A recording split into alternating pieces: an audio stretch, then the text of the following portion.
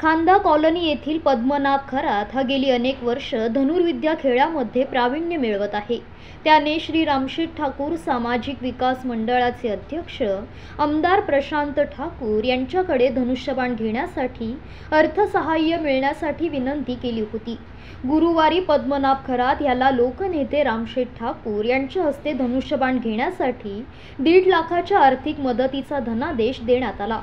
महाराष्ट्र शासनाच्या क्रीडा विभागाने घेतलेल्या धनुष्यबाण स्पर्धेमध्ये पद्मनाभ गणेश खरात याने रायगड जिल्ह्यामध्ये प्रथम क्रमांक पटकाविला असून ठाणे विभागामध्ये प्रथम आणि राज्यामध्ये आठवा क्रमांक मिळविला आहे.